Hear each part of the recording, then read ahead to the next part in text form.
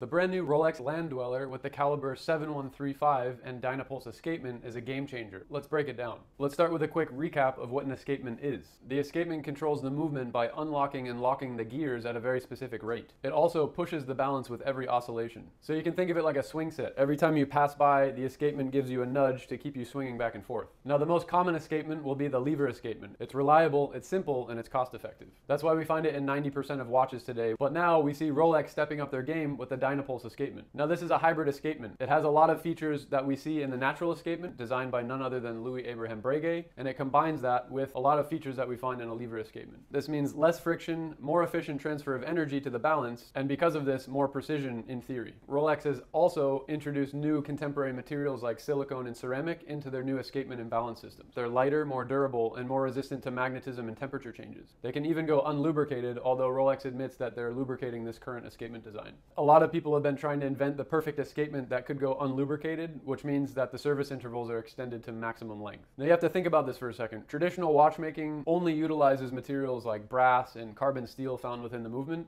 Rolex is now laser cutting ceramic balance staffs and making wheels using silicone, which to a watchmaker is absolutely bonkers. Now this will never entirely replace traditional watchmaking because traditional watchmaking has a very important place in this world, but it is very important to always try to improve and innovate. However, this is not the first time we've heard of Rolex prototyping a proprietary escapement. Project Alpha is something we saw many years ago. This escapement, which was prototyped within the walls of Rolex, was never produced because they didn't find it sustainable enough, and eventually became tangible when the designer of that escapement left Rolex, took the idea to Girard-Perregaux, where we later saw it produced. Now let's talk about frequency. The Land Dweller caliber 7135 runs at 5 Hz, which is faster than the usual 4 Hz that we see in most Rolex movements historically. Why does this matter? Because higher frequency theoretically means more precision, so why didn't Rolex implement this earlier? Actually, the 5 Hz movement isn't new. In fact, you can find this in the Zenith El Primero movement, which is seen in earlier iterations of the Rolex Daytona. Rolex notoriously went out of their way to lower the 5 Hz of the Zenith El Primero before they implemented it into their Daytona line because they conducted many tests and proved it was actually causing too much wear and tear for the watch.